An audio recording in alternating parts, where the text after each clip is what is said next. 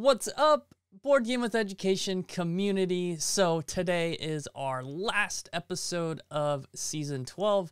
We'll be back with season season 13, but it's going to look different and I'm going to share some updates about that in a minute. But today's episode, I'm going to share with you some resources that you can normally find in our newsletter. There'll be a link below or link in the show notes to sign up for that newsletter if you are not already signed up. Also, I'm going to share again some updates, and we have one major update that we'll share too, as well as what season 13 is going to look like. So let's go.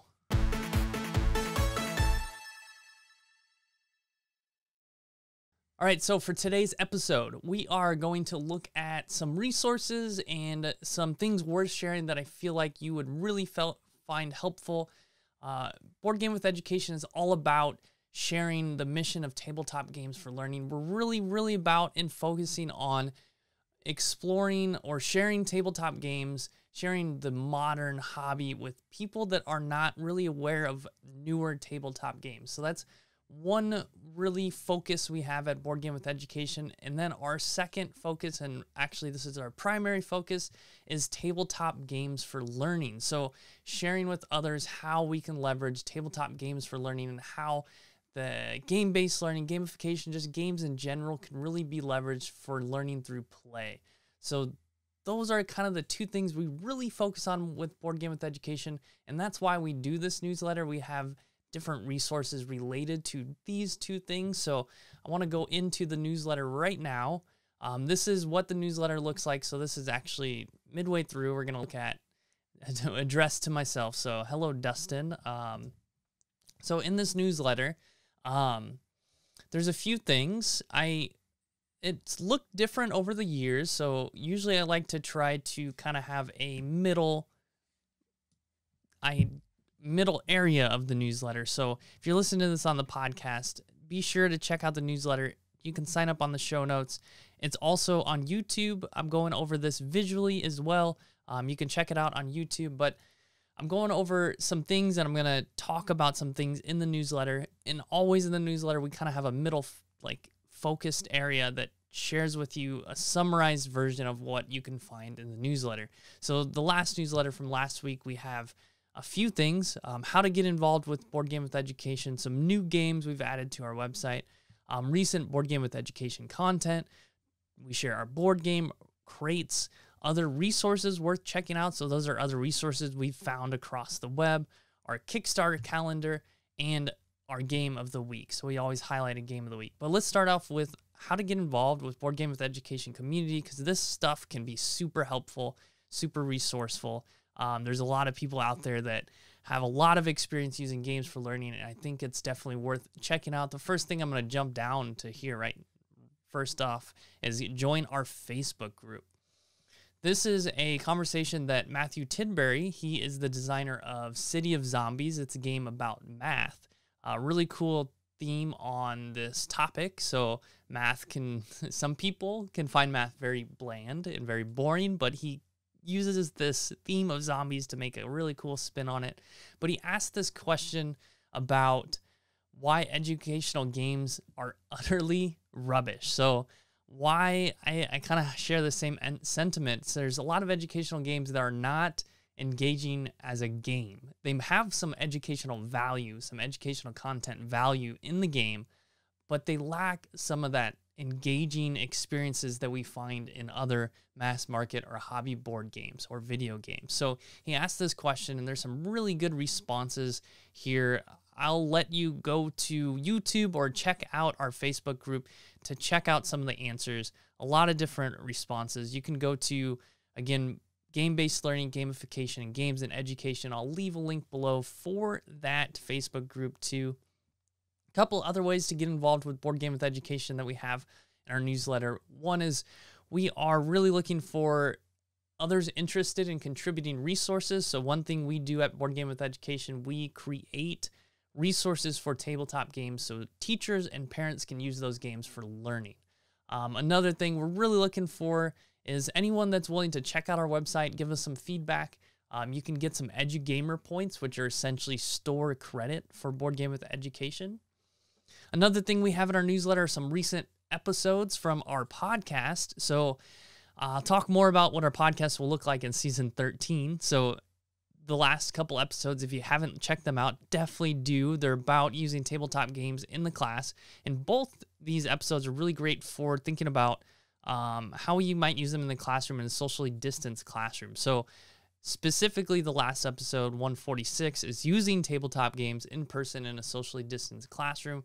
The episode before that is talking with William Brown from The Hungry Gamer, and we talk about how he used a game called Thousand Year Old Vampire in his classroom. Really, really clever idea, really unique take on how he used that game. Definitely worth checking out that episode too. And this game you can definitely play socially distanced as well. Um, the next thing up in our newsletter are our board game crates. Really excited. I'm putting one together uh, today, and we're going to ship it out very soon to a teacher uh, out on the East Coast. Uh, she's hopefully starting a board game club next year, so she's kind of building up her board game library. Really excited to get that board game crate to her. Um, another thing in our newsletter are just new games. We're always adding new games on our website. And supporting our site really helps support our mission of tabletop games for learning.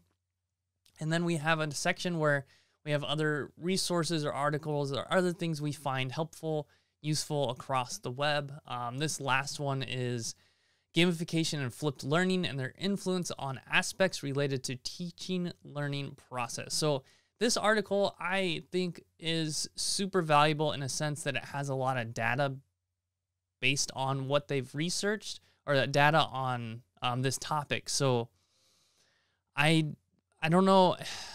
I wish they had more practical discussion in this research paper. It is very much like a research paper.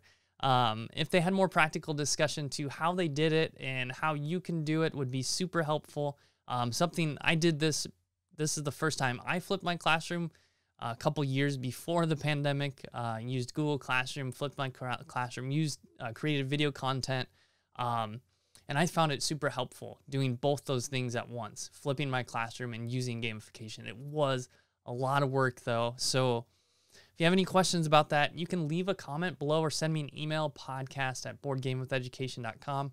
If that's something that maybe is worth creating a whole video about, definitely leave a comment below or a whole podcast episode about um, how I did both flipping my classroom and gamification.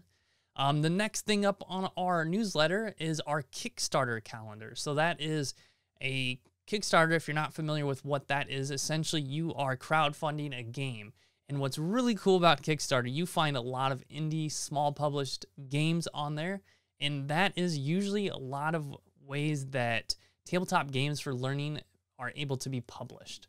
Um, they're usually by small publishers. Uh, there's not always a lot of uh, money behind these types of games, and it's usually someone with a passion for using tabletop games for learning. So, really cool. We compile some games that we see that might have some benefit for learning. They're not.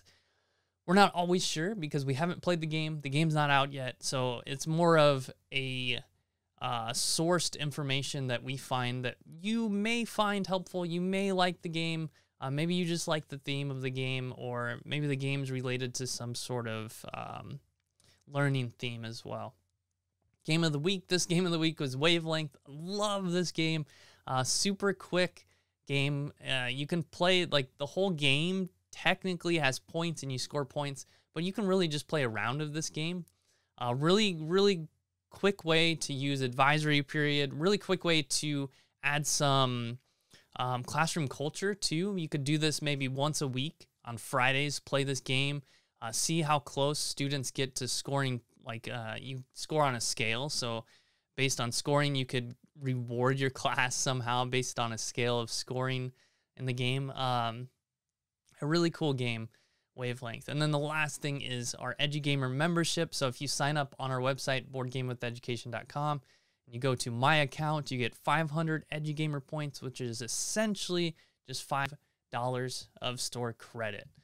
So that is what is up with Board Gaming with Education, our newsletter, some resources. I hope you found some of that stuff, that information helpful. Um, now I want to share some updates. So we're going to go into what season 13 is going to look like. I want to share some updates with some board game conventions and then share our major update. So, season 13, the Board Gaming with Education podcast is going to be based on how often we are able to schedule guests to chat about games for learning. So, with that said, we are creating other content on other channels. So, the podcast is very much focused for these types of conversations. Um, there may be some solo episodes or other guests. So, very much games for learning.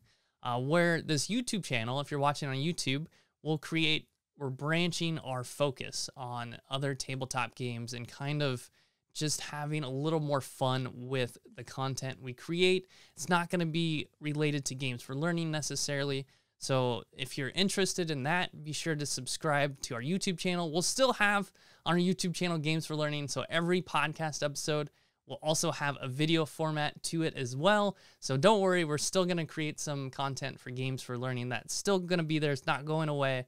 Um, so that's kind of the main change. Uh, what we're still kind of weighing in on options. I'm thinking what might be really cool is doing a weekly calendar. And on that weekly calendar, I will share with everyone when I will be recording an episode with a guest, and we'll do those episodes live. So you can tune into those episodes live.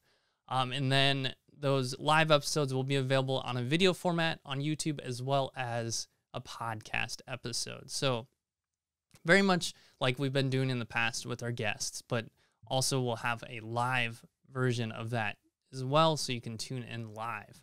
Um, I think that will create uh, a lot of fun. Hopefully, we'll get some great questions with our guests live too. I think that it's gonna be gonna be really cool. So that's kind of the main thing. Also, I mentioned we're creating other content. We're on TikTok and Instagram as well. I'll leave those links below. I'm leaving a lot of links, so choose which ones you want to kind of check out and which ones you want to follow. Um, so that's the the podcast and how that's changing. Then next up is our conventions. Um, so we're going to be heading to for sure Origins. Uh, that is in the end of September, early October. Um, we're likely going to BGG Um, we're looking at maybe getting a booth there, so that's still kind of up in the air. Um, we'll have a decision about that in the next couple weeks. That's mid-November. And then we're also doing a couple other things. We're doing this really cool uh, Valley Festival here in um, the San Fernando Valley in Los Angeles. So if you're in the area, um, August 28th, this is like a big uh, festival at the local mall here, uh, the Topanga Mall. So we're excited for that. We'll be doing that August 28th. And we're also doing LA Comic Con. So that is in December. So that will be also, uh, we'll have a booth there. Um, we'll be selling some of our games. Uh, we'll be promoting board games for learning. So definitely, if you're in LA for LA Comic Con, come check us out there. And finally, those are a lot of lot of announcements, a lot of updates, some big things happening. But we have an even bigger update. I'm super excited to share this, and we are opening a brick and mortar store. So uh, that's a big, big update. Um, we have a lot of work to do. We're still in the planning stages. We're at least six months out. We originally I had a quicker timeline, but I've had some talks with others and some. Uh, I have a mentor as well that's kind of suggested moving that timeline. So we're at least six months out.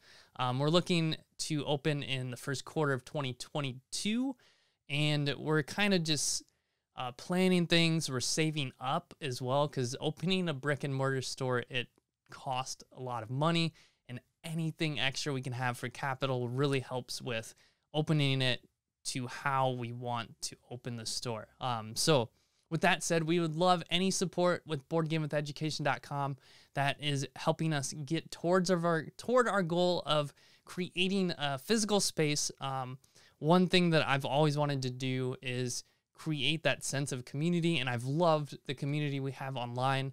Really, really awesome community we have online, and I'm excited super excited to bring that to a physical space here in the San Fernando Valley in Los Angeles. So if you're ever in the area, feel free to come by the store too. That'll be uh be a little bit from now, but we're excited. And then that is two other things with that. So we will be creating a vlog about our process. So if you're interested in more behind the scenes of what that looks like, how we are doing it, what's involved, be sure to subscribe. We'll create a separate playlist for that vlog.